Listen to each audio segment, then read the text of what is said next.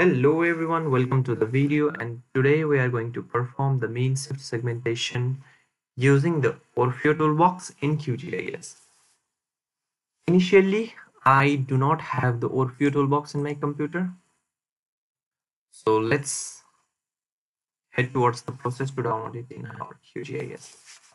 We can go to our web browser and search for the Orfeo toolbox, or Orfeo toolbox and you can select so this is the link for the site and let's open it. You can directly go to the download tab. Let's let's go step by step.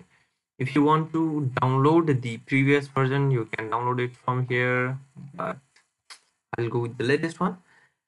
Um, so just select it. And depending on your operating system please download the Orfeo. So mine is Windows and I have already downloaded downloaded it. So in this way it will be downloaded, but I don't need it. So let's cancel this one. And now let's extract from the compressed file. So this could take time. Uh, I'll be just back.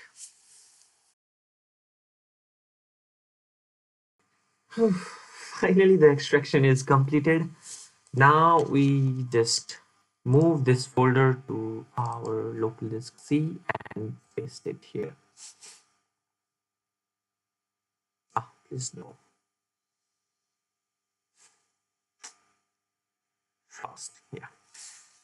So when this is moved here just go to the QGIS and plugins. Manage and install plugins. And then search for the Orfeo toolbox. This is already pre-installed in QGIS if it is not activated or enabled just enable it and then close. So you might not see the O2B, OTB right now. So to configure it, just go to settings, option, providers, OTB, and here this two parameters might not be configured in your system. So to do that, just double click it, click the triple dot and this would be empty in your system. Just add and go to the local disk C the OTB folder the library the OTB and select the application and select the folder. So doing so in doing so you will get the same the similar uh, path and then okay and similar for the OTB folder. Now we need to select the main folder for this parameter. So select the main folder and yeah select folder. And it will be here. In doing so you will be it will take a bit time to load and then you will be able to use all the tools inside the OTB I'll not talk about all the tools in OTB right now maybe in future videos but let's perform the mean shift segmentation uh, which is the main content of our video.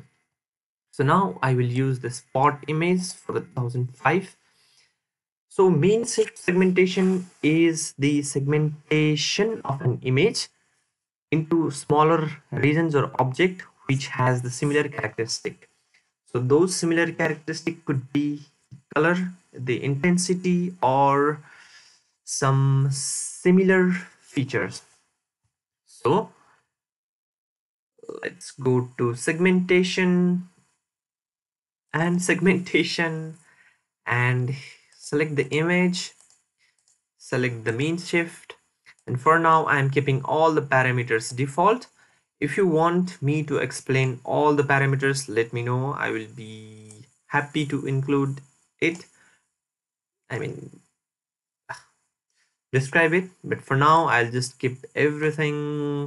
Mm, mm, mm, that as a default I want my output to be raster so it's last raster. So I don't want to save anything. Let's let it be the temporary and run. So it could take a bit of time. Uh, uh, uh, uh has no level is okay I don't care so this is the grayscale image I want to give the unique values. And apply. And then you can see the similar feature is segmented into a single object. Oops. yes.